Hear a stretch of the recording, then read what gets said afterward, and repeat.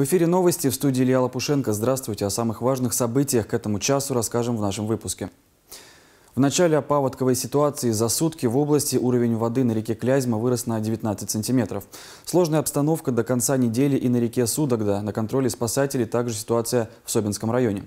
Там длина перелива дорожного полотна уже составила 40 сантиметров.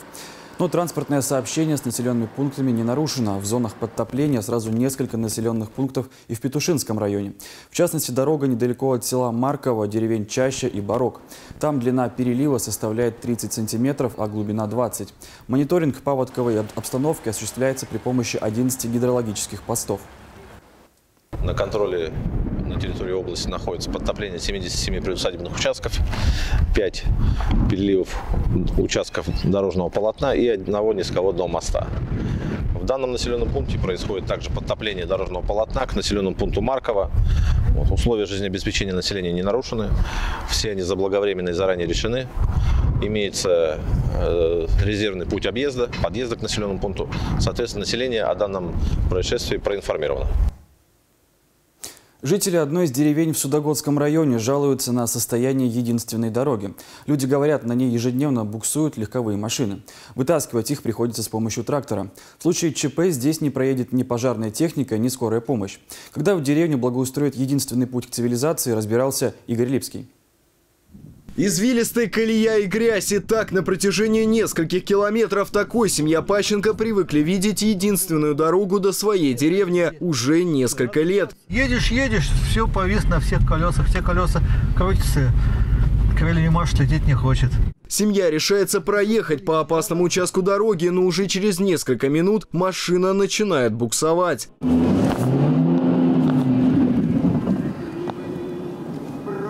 Они сели. Люди экстренно звонят старости деревни Михаилу, у него есть трактор. В течение 20 минут на горизонте виднеется помощь.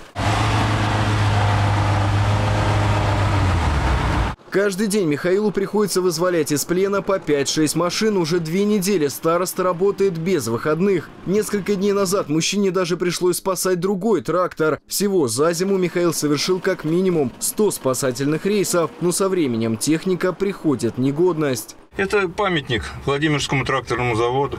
Вот. Ну, ему уже тоже приходится уже...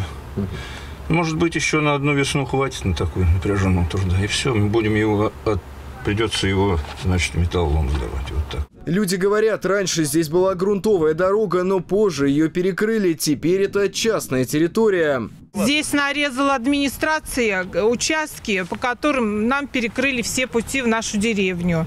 Люди нашли решение, проложили новую дорогу через бывшее картофельное поле. Цена вопроса 60 тысяч рублей. Хотя они этого делать были не должны. По генеральному плану развития территории новая дорога здесь должна была появиться еще пять лет назад. Вот эта вот дорога, вот видите, вот эта Тяково, она шла и проходила в село Богданцу. Богданцу должен был конечный, конечный пункт быть. Это семья Саидовых. Они приехали в Россию с Таджикистана пять лет назад. В семье 10 детей. Шесть из них ходят в школу в соседнем селе Чамерево за 7 километров от дома. Абдузаид, отец семейства, работает врачом-психиатром на станции скорой помощи во Владимире. Из-за качества дороги его дети уже несколько недель не ходят в школу. Им-то все-таки надо социализироваться. Я сам заставил их, чтобы они как бы пешком пошли до Исакова хотя бы. Ну, через два дня они больше плакали, почти всю ночь плакали, не ходили, жаловались, что ноги болят, уже не можем.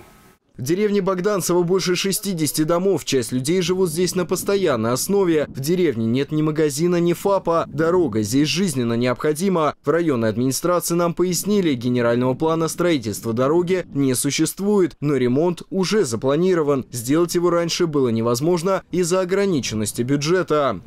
Дорога до Богданцева пятой категории, грунтовая, тип покрытия.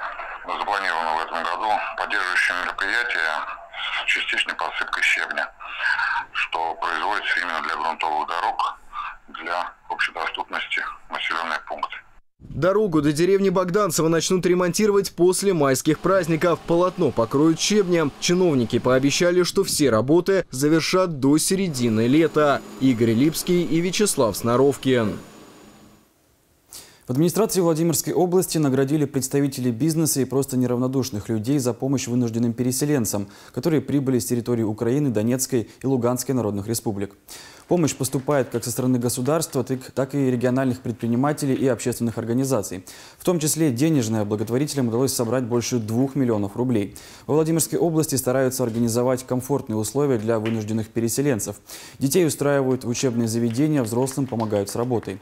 Кроме того, для семей организуют досуг. Директор департамента соцзащиты населения Любовь Кукушкина поблагодарила жителей региона за неравнодушие те люди, вот мамы, семьи, они просто вот слезы на глазах и говорили, надо же вот нас как встречают и как откликнулись все. И такая поддержка, но она действительно важна. Или губернатор был, значит, и все, дети же им все равно подарки как хочется получать, да, ну вот еда, вот тут он подарки привез, значит, и там они стали рисовать, и краски, все это. Сегодня на территории региона находится 2230 переселенцев. Из них больше полутора тысяч в пунктах временного размещения. Люди обеспечены одеждой, обувью, предметами первой необходимости. Организовано питание и медицинское обслуживание. Помощь поступает и в виде э, денежных средств на специальный счет, который организован э, в учреждениях социальной защиты населения. Поступают э, в натуральной форме. Кто-то приносит набор одежды. Э, активно подключились ну, практически все территории. Всего жителям, э, прибывающим э, по гуманитарной помощи смотреть, то волонтерами, предпринимателями, предприятиями собрано более 60 тысяч единиц гуманитарной помощи. 7 тонн гуманитарного груза доставили в город Краснодон Луганской Народной Республики. Продукты питания, одежды и предметы первой необходимости собрали жители Владимирской области. Об итогах гуманитарной миссии отчитался председатель контрольного комитета региона Сергей Полузин. Эти 7 тонн включают в себя консервы рыбные и мясные.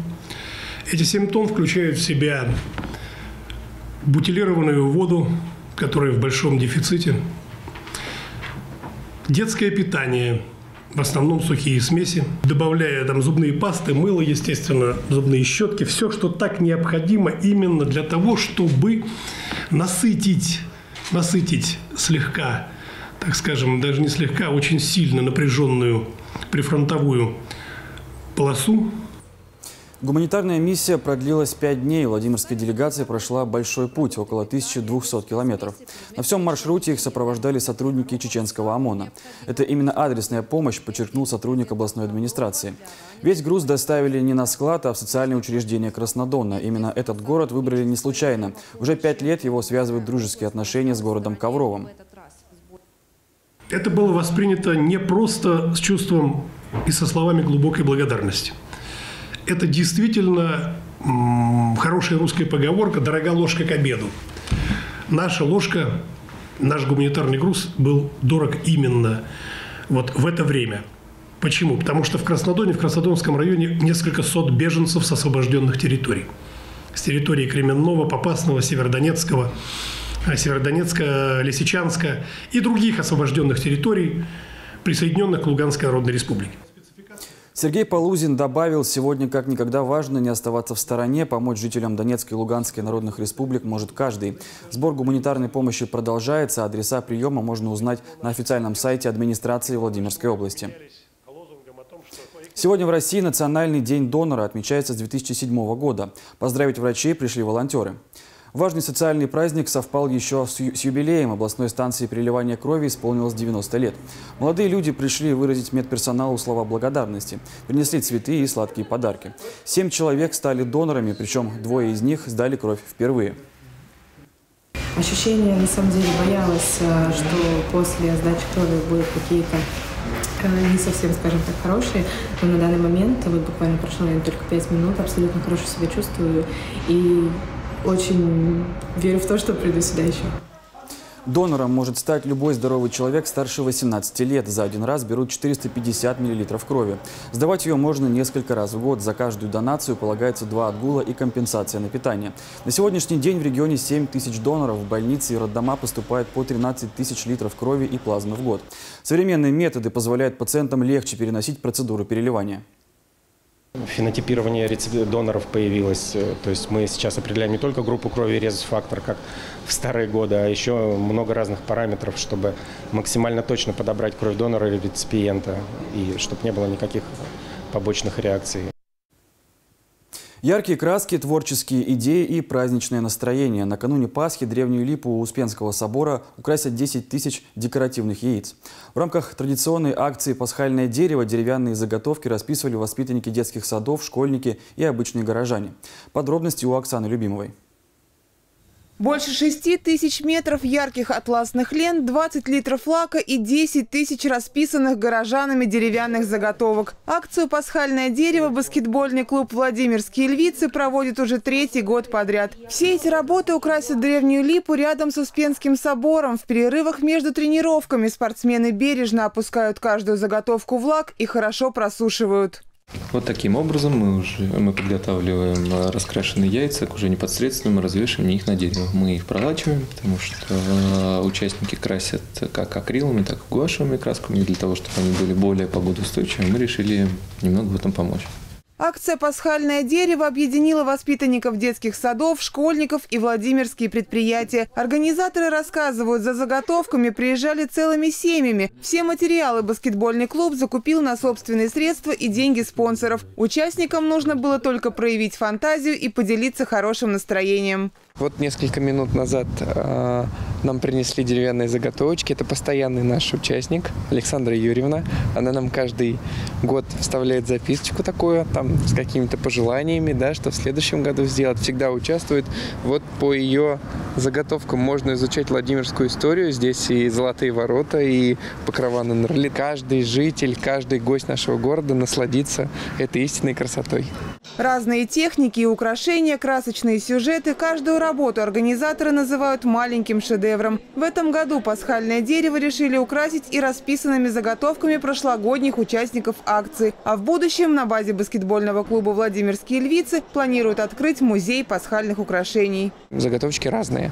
То есть видно, что кто-то в детском саду расписывал с, там, с учителем, с воспитателем. И, конечно, есть работы, которые профессиональные художники делают. И там вот, знаете, мы пролачиваем, вешаем на дерево, вот как реликвию, да, и каждое яичко вешаем с трепетом. Видно, что люди отдают этому свое, свое время, а значит, э, ну, мне кажется, что они объединяются чем-то хорошим.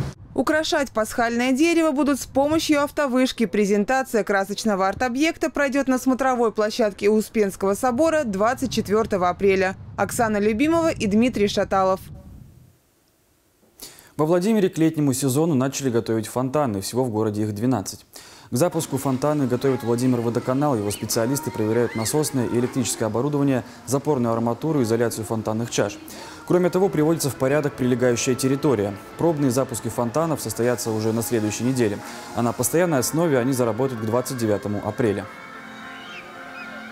На этом у меня все. Спасибо, что были с нами. Подписывайтесь на нас в социальных сетях, в Телеграм-канале, ВКонтакте и Одноклассниках. Следующий выпуск новостей ровно в 19.00. Не пропустите.